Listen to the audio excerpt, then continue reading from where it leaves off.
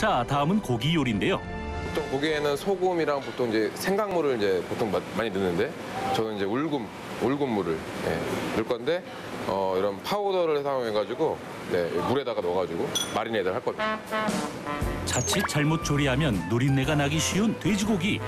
고기의 잡내를 잡는데도 울금이 제격이라는데요.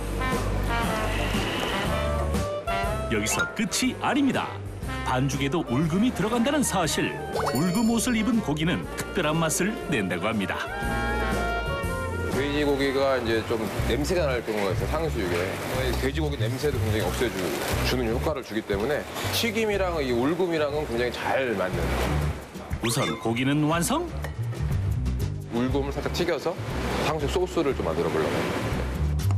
이산호 셰프의 손에서 울금이 꽃으로 재탄생하는데요. 울금 튀김입니다.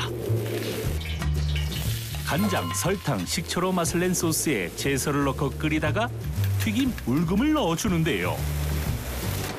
새콤달콤한 소스가 곁들여진 울금 탕수육 완성! 다음 요리는 무엇인가요? 흰살 생선을 이용한 이제 생선 요리고요. 이 울금을 이제 살짝 먼저 발려주면은 이 생선을 풍미가 더 살아나는 역할을 해주거든요.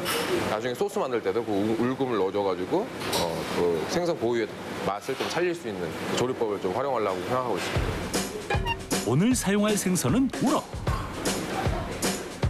생선살을 부드럽게 하고 비린 맛을 잡아줄 울금과 대파를 얹은 후 찜통에서 약 8분간 쪄내는데요. 울금의 맛과 향을 머금어 한층 촉촉해진 우럭찜. 그런데 중국 요리에 불맛이 빠지면 섭섭하겠죠.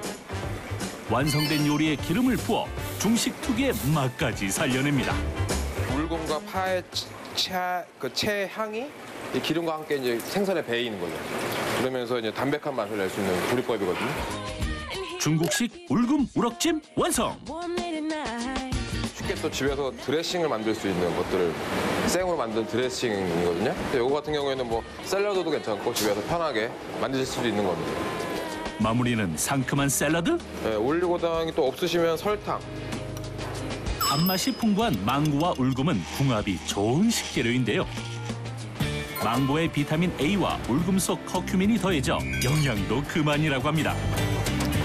알싸한 맛이라 해야 될까요? 그런 맛이 나는데 이제 이게 채소와 샐러드와 결합됐을 때는 어, 같이 씹으면서 이제 결합되잖아요 맛이. 그러면 어, 어떤 풍미가 좀 많이 나는 부분이 있고 굉장히 잘 어울리거든요.